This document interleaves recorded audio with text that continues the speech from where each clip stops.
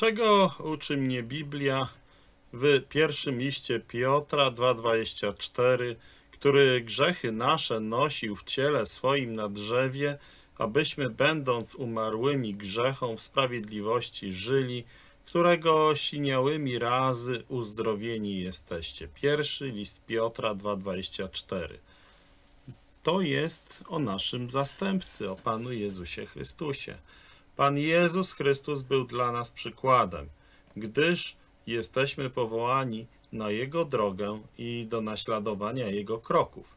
Rozważanie życia Chrystusa w całej chwale Jego doskonałości nie może mieć wpływu na nas, dopasowuje nasze myśli i drogi i do Jego dróg. Dlatego rozważanie życia Chrystusa w całej chwale Jego doskonałości nie może nie mieć wpływu na nas.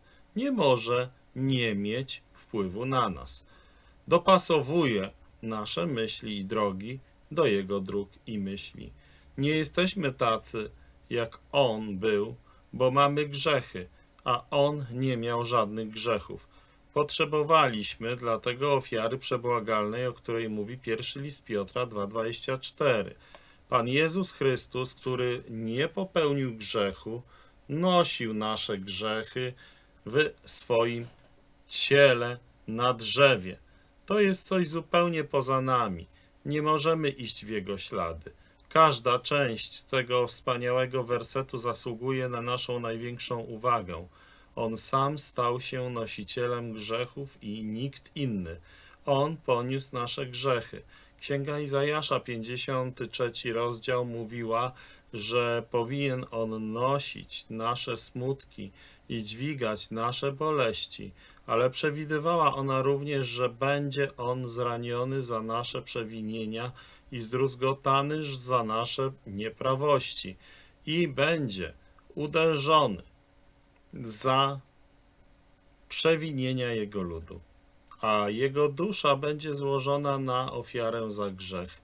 Te grzechy były nasze, bo werset zdecydowanie mówi o pracy Chrystusa nie w jego boskim aspekcie jako przebłagania go, ale w jego zastępczym aspekcie jako noszenia grzechów wierzących jemu ludzi, a nie grzechów wszystkich. On poniósł nasze grzechy w swoim własnym ciele jako nasz zastępca zgrzeszyliśmy w naszych ciałach. On, stając się prawdziwym człowiekiem poza grzechem, poniósł nasze grzechy w swoim świętym ciele jako ofiarę za grzech na drzewie, ponieważ to wyłącznie w Jego śmierci dokonało się zadośćuczynienie. Nie niósł naszych grzechów podczas Jego życia, ale w Jego śmierci, a my jesteśmy uzdrowieni przez Jego siniałe razy. On poniósł nasze grzechy i uwolnił nas od kary, na którą zasłużyły nasze grzechy, abyśmy teraz mogli żyć dla praktycznej, codziennej sprawiedliwości, który grzechy nasze nosił na ciele swoim na drzewie, abyśmy, będąc umarłymi grzechom sprawiedliwości, żyli, którego siniałymi razy uzdrowieni jesteście. Pierwszy list Piotra, drugi rozdział, 24 werset.